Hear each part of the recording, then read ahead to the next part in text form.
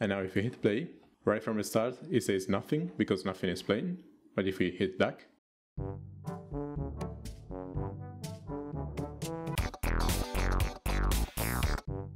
Hi, I'm Ricky. Today we see how to swap music in our game with a simple menu.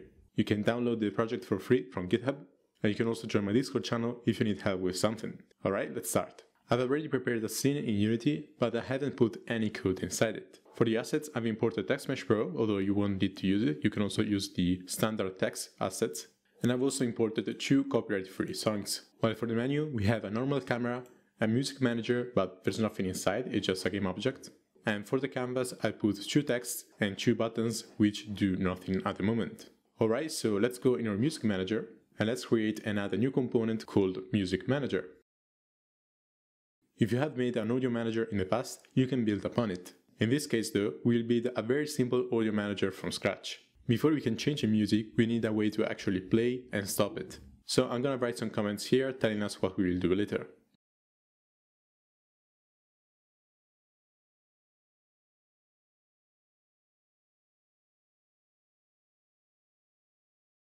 So we first need a reference to all the music clips, then when the game starts, we're gonna create all the audio sources based on the music clips, and finally we'll have a public function that takes in a music parameter, that is the ID of our new music clip, and we'll then stop the current music that is playing, change the current music ID, and that's gonna be a string that we put here.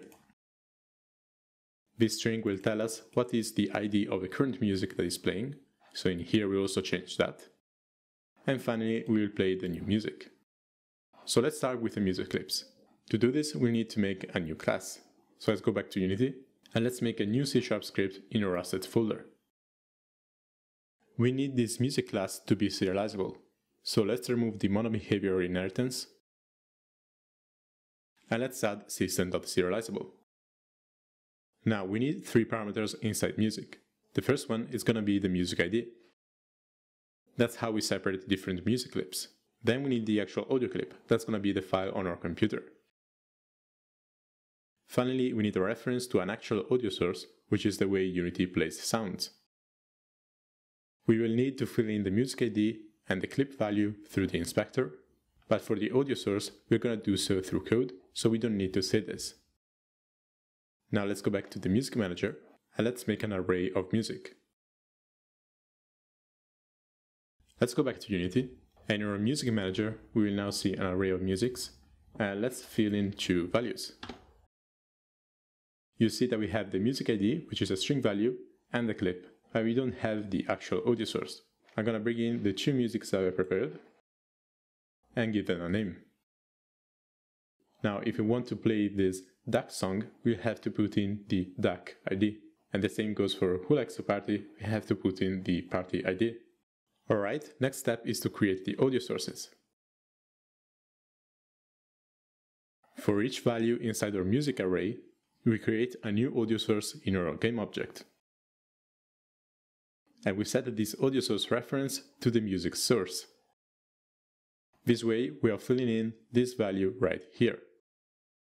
And the audio source itself, we're going to add it to the Music Manager's game object. Now we just have to set in the values of the music source to reflect the values of our music class. In this case, the only value that I want to set is the clip itself. So we have taken the audio source reference and set its clip to be equal to the clip in our music class. Let's see if it works. Here we go, we have an audio source here with the audio clip being the same as this one. And we have a second audio source with the second audio clip. Alright, next step we have to stop the current music. We do this by cycling through each of our music elements and see which one's ID is equal to the current music ID. And by default, our current music ID will be empty, so we won't do anything.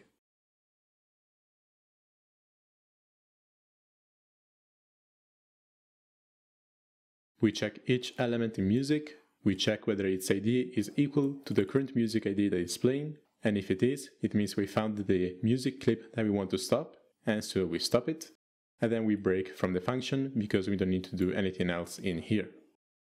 To change the current music ID, it's really simple. We just set it to the parameter of the function. Finally, to play a new music clip, we'll do the exact same process as here, when we want to stop it. But this time, instead of stop, we use play. And that's it. Let's go back to Unity. I'm gonna select the two buttons that I prepared in the music panel. I will add an event and drag in the music manager. And as a function, we select music manager, change music. Now for the Fluff a Duck button, I'm gonna put in the duck ID, while for the party one, I'm gonna put in party. And now if we hit play,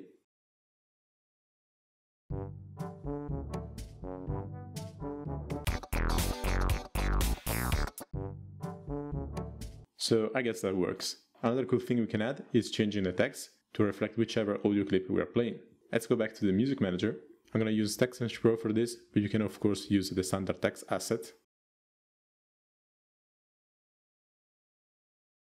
So I've added a reference to the text of the current music playing. Now we just take it, and when we change the music, we just set the text to say currently playing plus the current music ID. Alright, let's drag in the reference. And I've also changed the button name to say duck. And now if we hit play, right from the start it says nothing because nothing is playing. But if we hit back,